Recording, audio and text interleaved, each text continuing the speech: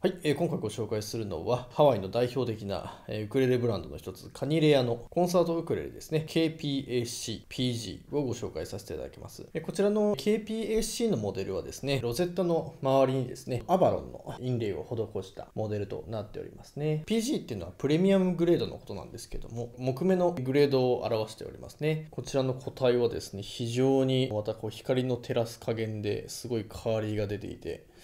で、サイドもですね、バックも、え、非常にこう美しい個体となっておりますね。はい。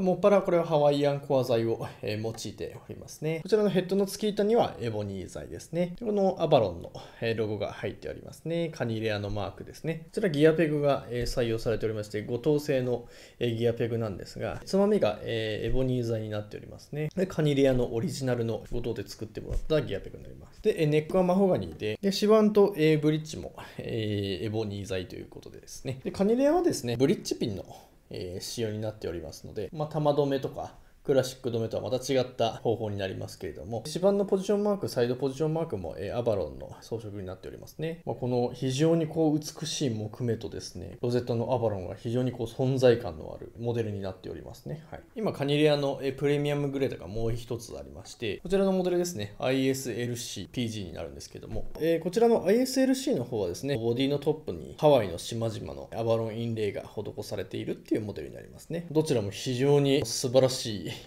あのウクレレになっておりますね、まあ、やはりハワイアンコア材のプレミアムグレードっていうのもあってですね非常にパーンとこう抜ける音っていうのがやっぱ感じられますね、はい。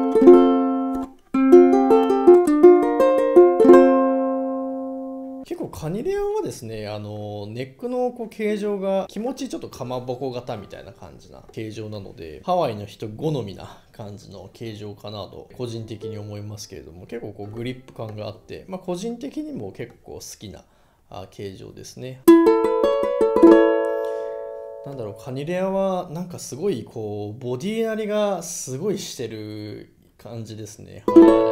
い。またちょっとこう、コアロハとかカマカとはちょっと全然違ったというか、なんだろう、結構正統派じゃないですけれども、まっすぐ、結構ストレートにこう飛ぶような感じの音になってますね。はい。結構太い音というか、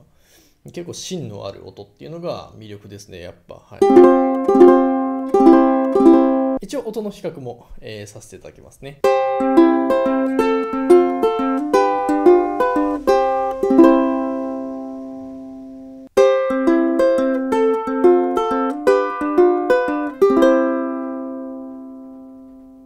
こちらも非常にカニレアらしいですね。ハワイアンのサウンドっていうのが感じられますね。ハワイではもうめちゃくちゃ人気なやっぱブランドなので、ハワイアンコアの極上な、えコンサートウクレレですね。えー、お探しの方はぜひぜひ、